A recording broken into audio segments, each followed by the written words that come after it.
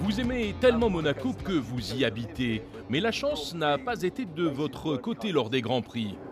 C'est vrai, j'ai eu, j'ai participé à 10 éditions du Grand Prix de, Monaco avec euh, un peu de malchance, je dirais. euh, de temps en temps, quand j'étais dans le groupe de tête, ça m'était arrivé deux, trois fois d'être dans le groupe avec les, meilleurs, de pouvoir espérer un podium. Et puis j'ai eu un problème avec la voiture, soit un arbre de transmission qui casse, soit une partie de l'aileron qui, qui se détache et des choses comme ça. Donc j'ai pas eu beaucoup de chance ici, mais j'ai vraiment eu beaucoup, beaucoup de plaisir à, à participer à ces 10 Grands Prix tous différents, tous avec un challenge un peu particulier. Et euh, voilà, j'ai jamais eu d'accident non plus, jamais touché le rail, donc ça me fait très plaisir de, de le faire, d'être là dix fois.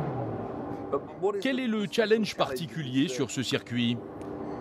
À Monaco, c'est très très compliqué comme circuit. C'est un, en fait, c'est très étroit. Il y a des rails des deux côtés, et le, le challenge, c'est d'aller frôler le rail à gauche et à droite euh, pour aller le plus vite possible.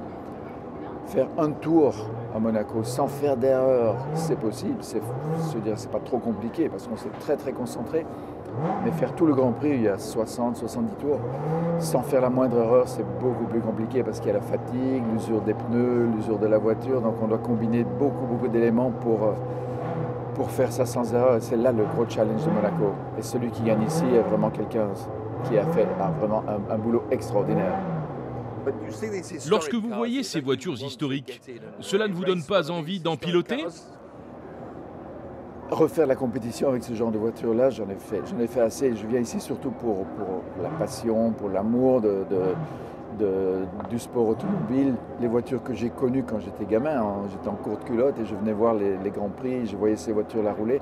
Je les revois aujourd'hui, je peux les voir de tout près, c'est fantastique. Les gens viennent ici par passion, le public est là par passion, ceux qui préparent les voitures, qui roulent avec ça aussi, sont, on, a, on a affaire à des passionnés vraiment dans le monde dans le vrai monde du sport automobile, sans marketing, sans sponsor, sans, sans, sans à côté qui, qui, qui dirige finalement le sport automobile aujourd'hui, là c'est vraiment de la pure passion. C'est fantastique.